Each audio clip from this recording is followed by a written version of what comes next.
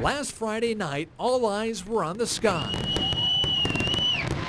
The only things that were supposed to be in the air over downtown Columbus during Red, White, and Boom were the fireworks and helicopters, both CPDs as well as Chopper 4, which gave us this unique perspective.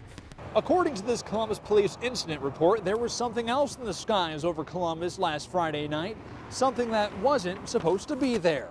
An airplane.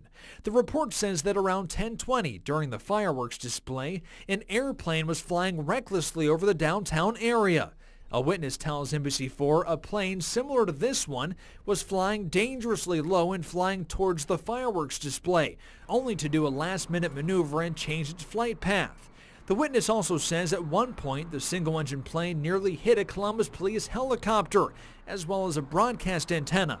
Columbus police say they've written up a report on the incident and have sent it to the Federal Aviation Administration.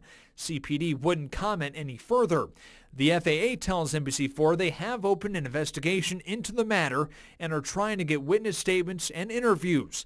They would not discuss specifics of the case. However, they tell NBC4 such an investigation typically takes weeks or even months to complete.